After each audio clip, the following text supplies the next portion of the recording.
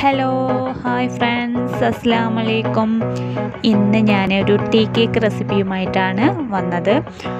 ഒരു plum cake റെസിപ്പിയാണ് കേട്ടോ ശരിക്കും ഒരു പ്ലം കേക്കിന്റെ രൂപത്തിൽ തയ്യാറാക്കിയിട്ടുള്ള ഒരു ടീ കേക്കാണ് അപ്പോൾ ഇതെങ്ങനെ തയ്യാറാക്കിയെടുക്കുന്നതെന്ന് നമുക്ക് നോക്കാം. അതിന് മുൻപായിട്ട് നിങ്ങൾ ചാനൽ സബ്സ്ക്രൈബ് ചെയ്തിട്ടില്ലെങ്കിൽ സബ്സ്ക്രൈബ് ചെയ്യുക.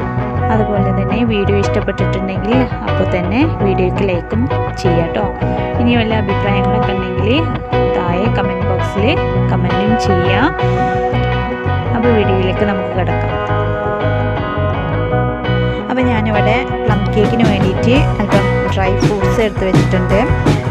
അണ്ടിയും അതുപോലെ പിസ്തയും അതുപോലെ തന്നെ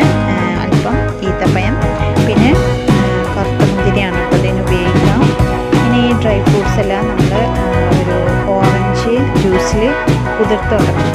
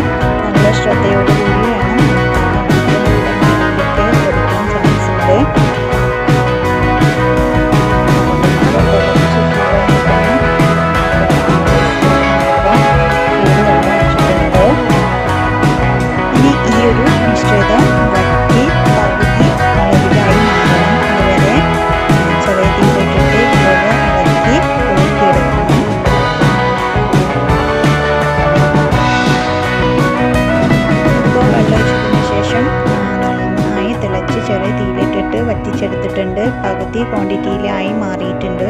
ഇനി ഞാനിത് തീ ഓഫ് ചെയ്യാൻ പോവാണ്. ഇനി ഇത് ഞാൻ തണുക്കാൻ വെക്കുകയാണ്. ഇനി ഞാനൊരു സാസറിൽ അര ടീസ്പൂണ് ജാതിക്ക ഗ്രേറ്റ് ചെയ്തെടുത്തതാണ്. അതിലേക്ക് ഞാൻ അര ടീസ്പൂണ് സിന്നമൺ പൗഡർ അതായത് ഇട്ട പൊടിച്ചത് ആണ് ചേർത്തത്. ഇനി അതുപോലെ തന്നെ അതേ അളവിൽ അര ടീസ്പൂണ് ഏലക്കപ്പൊടിയും കൂടെ ചേർത്തിട്ട് നന്നായിട്ടൊന്ന് മിക്സ് ചെയ്തെടുക്കുകയാണ്.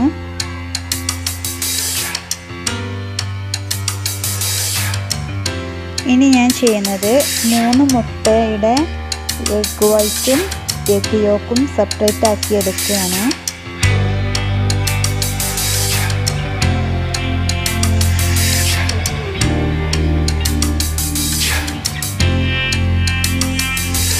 അപ്പോൾ ഞാൻ ഈ ഒരു പ്ലം കേക്കിന് വേണ്ടിയിട്ട് മൂന്ന് മുട്ടയാണ് എടുത്തിട്ടുള്ളത്. അതിന്റെ എഗ് വൈറ്റ് ആണിത്.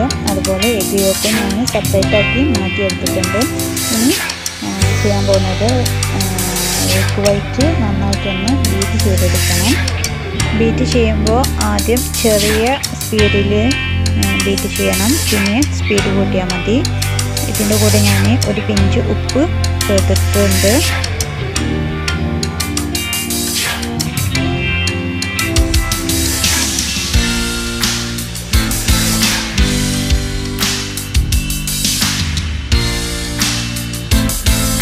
അങ്ങനെ നമ്മുടെ എഗ് വൈറ്റ് നന്നായിട്ട് ബീറ്റ് ചെയ്തിട്ട് പതഞ്ഞ് പൊങ്ങി വന്നിട്ടുണ്ട്.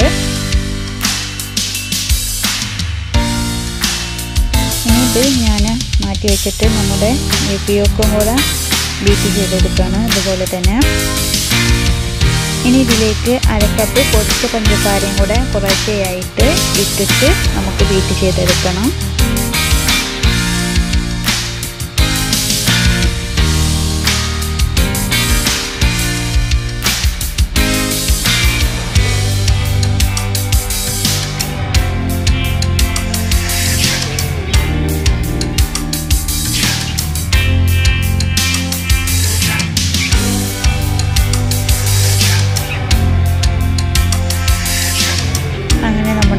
എപ്പിയോക്ക് നന്നായിട്ട് ബീറ്റ് ചെയ്തിട്ട് ഇതുപോലെ നല്ലൊരു ക്രീമായി വന്നിട്ടുണ്ട് കേട്ടോ ഇനി ഇതിലേക്ക് ചേർക്കാൻ പോകുന്നത് മുക്കാൽ കപ്പ് ഓയിലാണ് ഞാനിവിടെ എടുത്തിരിക്കുന്നത് സൺഫ്ലവർ ഓയിലാണ് മുക്കാൽ കപ്പ് ഞാനിവിടെ കാൽ കപ്പിന്റെ കപ്പാണ് എടുത്തിട്ടുള്ളത്. അതിൽ മൂന്ന് തവണയായിട്ട് അളന്നെടുത്തിട്ടാണ് ഒഴിച്ചു കൊടുക്കുന്നത് കേട്ടോ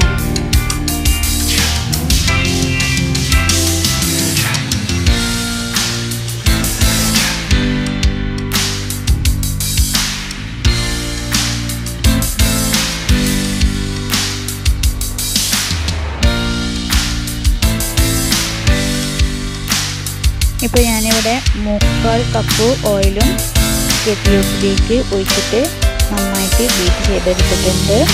ഇനി ഞാൻ ഇതിലേക്ക് ചേർക്കാൻ പോകുന്നത് ഓറഞ്ചിന്റെ തൊലി ഗ്രേറ്റ് ചെയ്തതാണ്. അതൊരു അര ടേബിൾ സ്പൂണ് ഉണ്ടാവും കേട്ടോ പിന്നെ അതിലേക്ക് ചേർത്തിട്ടുള്ളത് വാനില എസൻസ് ആണ്. ഒരു ടീസ്പൂൺ വാനില എസൻസ് ആണ് ഞാനിവിടെ ചേർത്തിട്ടുള്ളത്. ഇതെല്ലാം കൂടെ ഒന്ന് മിക്സായി കിട്ടുന്നത് വരെ ചെയ്തെടുത്തിട്ടുണ്ട്. ഇനി ഞാനിതിലേക്ക് മെയിൻ ഇൻഗ്രീഡിയന്റ് ആയിട്ടുള്ള നമ്മുടെ കാരാമലൈസ്ഡ് ഷുഗർ ചേർക്കാൻ പോവാണ്. ഈ ഒരു കാരാമലൈസ്ഡ് തണുത്തതിന് ശേഷമാണ് ഒഴിക്കുന്നത് കേട്ടോ കുറേശ്ശെയായിട്ട് ഒഴിച്ചിട്ട് ബീറ്റ് ഈ ഒരു കരിച്ചെടുത്തിട്ടുള്ള ഷുഗർ ഒഴിക്കുമ്പോൾ നമ്മുടെ എപ്പിയോക്കിന് ഒരു കളർ ചേഞ്ച് വരും. അതാണ് നമ്മുടെ കേക്കിന്റെ ആ ഒരു ബ്രൗണ് കളറിൽ വരുന്നത് കേട്ടോ ഇനി ഇത് നന്നായിട്ട് തന്നെ മിക്സാക്കി എടുക്കണം.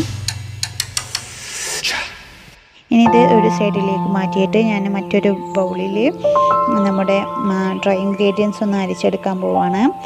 അരിപ്പയിൽ ഞാനിപ്പോൾ ഇവിടെ ഒന്നര കപ്പ് മൈദയാണ് എടുത്തിട്ടുള്ളത്. അതിലേക്ക് ഒരു ടീസ്പൂൺ ബേക്കിംഗ് പൗഡറും അര ടീസ്പൂൺ ബേക്കിംഗ് സോഡയും ചേർത്തിട്ട് നന്നായിട്ടൊന്ന് അരിപ്പയിൽ ഇട്ടിട്ട് നന്നായിട്ട് അരിച്ചെടുക്കുകയാണ് ചെയ്യുന്നത്. ഇനി ഇതിന്റെ കൂടെ തന്നെ ഞാൻ നേരത്തെ തയ്യാറാക്കി വെച്ചിട്ടുണ്ടായിരുന്ന ഗരം മസാല ചേർത്തിട്ട് അരിച്ചെടുക്കുകയാണ്.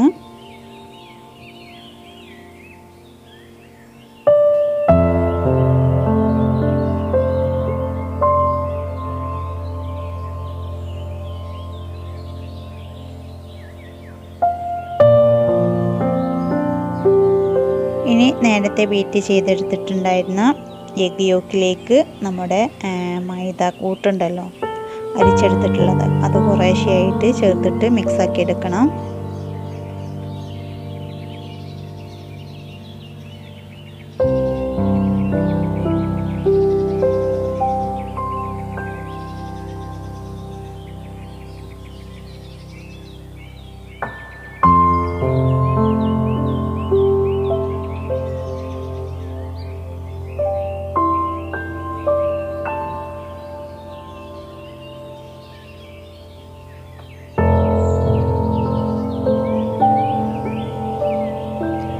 ഇപ്പോൾ നമ്മുടെ മൈദ മിക്സിംഗ് ഒക്കെ കഴിഞ്ഞിട്ടുണ്ട്. ഇനി ഇതിലേക്ക് ചേർക്കാൻ പോകുന്നത് സോക്ക് ചെയ്തെടുത്ത് വെച്ചിട്ടുണ്ടായിരുന്ന ഡ്രൈ ഫ്രൂട്ട്സ് ആണ്.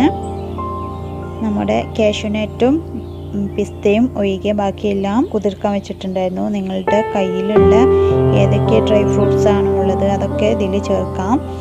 എത്രത്തോളം വേണമെങ്കിലും ചേർക്കാം. അതൊക്കെ നിങ്ങളുടെ ഇഷ്ടം പോലെ ചെയ്യാം.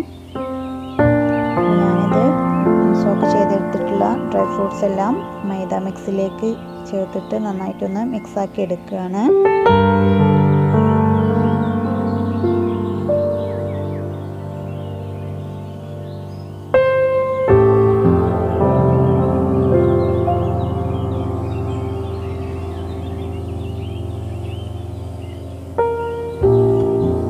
അടുത്തതായിട്ട് ചേർക്കുന്നത് നമ്മുടെ കാഷ്യൂനട്ടും പിസ്തയും ആണ്.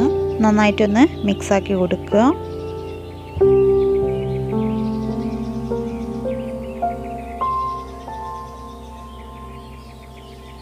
ഇനി ഇതിലേക്ക് ചേർക്കാൻ പോകുന്നത് ആദ്യം ബീറ്റ് ചെയ്ത് വെച്ചിട്ടുണ്ടായിരുന്ന എഗ് വൈറ്റ് ആണ്.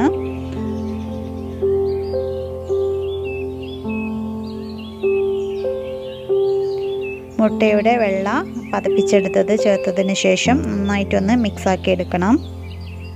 ഇതിൽ നിങ്ങൾക്ക് വേണമെങ്കിൽ ട്യൂട്ടി ഫ്രൂട്ടിയൊക്കെ ചേർക്കാം. എന്റെ കയ്യിൽ അത് സ്റ്റോക്ക് കൊണ്ട് അതൊന്നും ചേർക്കുന്നില്ല. നമ്മുടെ വീട്ടിൽ യൂസ് ചെയ്യാനല്ലേ. അപ്പോൾ അതിന്റെ ആവശ്യമൊന്നും വരുന്നില്ല. കയ്യിലുള്ള കിച്ചണിൽ അവൈലബിൾ ആയിട്ടുള്ള ഡ്രൈ ഫ്രൂട്ട്സാണ് ഞാനിതിൽ ചേർത്തിട്ടുള്ളത്. അപ്പോൾ നമ്മുടെ പ്ലം കേക്കിന്റെ ബാറ്റർ തയ്യാറായി കഴിഞ്ഞു. ഈ ഒരു കേക്കിനെ കാരാമലൈസ് ചെയ്തെടുക്കാനുള്ള ആ ഒരു പണിയെ മാത്രമേ ഉള്ളൂ. ഓരോന്നും സ്റ്റെപ്പ് ബൈ സ്റ്റെപ്പ് ചെയ്യുമ്പോൾ നിങ്ങൾക്കിതിൽ കാണുമ്പോൾ മനസ്സിലാവും കുറേ പണിയുണ്ടെന്ന്. പക്ഷേ അതൊന്നുമില്ല. ഇനി ഞാൻ ഈ ഒരു ബാറ്റർ നമ്മുടെ കേക്ക് ടിന്നിലേക്ക് ഒഴിക്കുകയാണ്.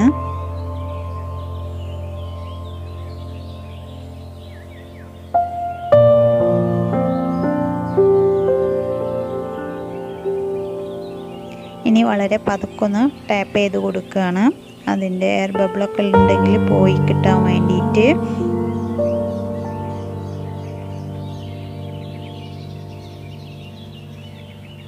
ഇനി ഞാനിത് ഗ്യാസിൽ ഒരു പഴയ നോൺ സ്റ്റിക്ക് പാൻ എടുത്ത് വെച്ചിട്ടുണ്ട്. അത് ചൂടായതിന് ശേഷം ഞാൻ നമ്മുടെ കേക്ക് ബേക്ക് ചെയ്യാൻ വെച്ചിട്ടുണ്ട്. നാൽപ്പത് മിനിറ്റിന് ശേഷം ഓപ്പൺ ചെയ്തപ്പോൾ നന്നായിട്ട് കുക്കായി വന്നിട്ടുണ്ട്. നമ്മുടെ കേക്ക് ബേക്കായി വന്നിട്ടുണ്ട്. അപ്പോൾ നമ്മുടെ പ്ലം കേക്ക് ഇവിടെ നന്നായിട്ട് തണുത്ത് വന്നിട്ടുണ്ട്. ഇനി കട്ടിംഗ് പരിപാടിയാണ്. ടീ കേക്ക് ആവുമ്പോൾ സ്ക്വയർ ഷേപ്പിലാണ് ഞാൻ കട്ട് ചെയ്തെടുക്കുന്നത്. അപ്പോൾ തീർച്ചയായിട്ടും നിങ്ങളെല്ലാവരും ഈ ഒരു കേക്ക് ട്രൈ ചെയ്ത് നോക്കണം. ഇഷ്ടപ്പെടും ഉറപ്പാണ്. ഇനി നിങ്ങൾക്ക് വീഡിയോ ഇഷ്ടപ്പെട്ടിട്ടുണ്ടെങ്കിൽ റെസിപ്പി ഇഷ്ടപ്പെട്ടിട്ടുണ്ടെങ്കിൽ വീഡിയോയ്ക്ക് ലൈക്ക് ചെയ്യുക അഭിപ്രായങ്ങൾ കമന്റ് ചെയ്യുക. അതുപോലെ തന്നെ സബ്സ്ക്രൈബ് ചെയ്യാൻ മറന്നവരുണ്ടെങ്കിൽ സബ്സ്ക്രൈബും ചെയ്ത് എന്നെ സപ്പോർട്ട് ചെയ്യാം ഇനി മറ്റൊരു അടിപൊളി വീഡിയോയുമായി ഇൻഷാല്ല അടുത്ത ദിവസം കാണാം. അതുവരേക്കും bye thank you. Thanks for watching.